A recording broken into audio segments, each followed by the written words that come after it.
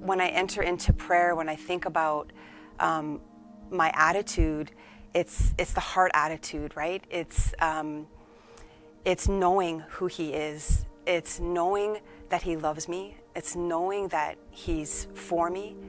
It's knowing that um, He sees me and that I'm not alone.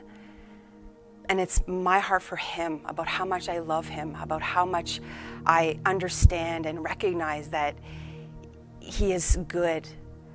Um, I come before Him surrendered and submitted because I know that my life belongs to Him, that He paid a price for me, but I need Him, and that I, I'm able to just share and, and open up to Him in a way that I can't with anybody else. Um, and so, in that surrender, in that submission, there's an acknowledgement that He's going to speak to me. I mm-hmm. come expectant for what He's going to say, for what He has in store for me. I come expectant to the plans that He has for me, the, the, the map that's already laid out, right? It's already laid out before me that He has good plans for me, that, that He wants to lead me. And so I come to Him just with this excitement and expectancy of what He has in store for me.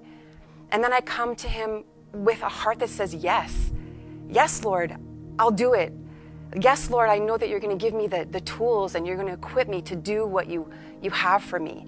And so my heart says yes. So it's, it's awe, it's, it's humility, it's openness, it's surrender, it's submission, it's expectation, and then it's just a heart that screams out, Yes, Lord. And it's not for me, right? It's not for me, it's for Him. It's for His glory, it's for His people, it's for His purposes.